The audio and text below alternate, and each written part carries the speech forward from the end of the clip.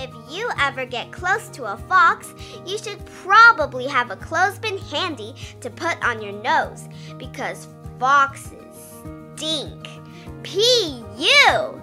A strong musky scent comes from the glands at the base of their tails. It's so strong, in fact, that they give skunks a run for their money on the smelly scale. Foxes are able to make 40 different sounds, but heard most often is their scream or howl. When they come across a rival, they communicate with each other using a series of stuttering sounds. This is called geckering.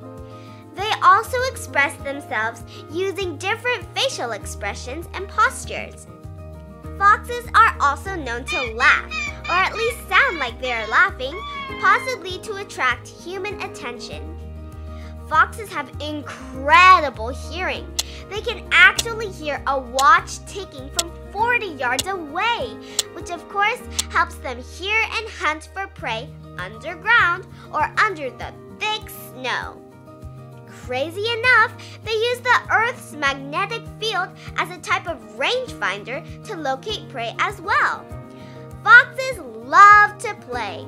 In fact, everyone and everything is an instant playmate for a fox.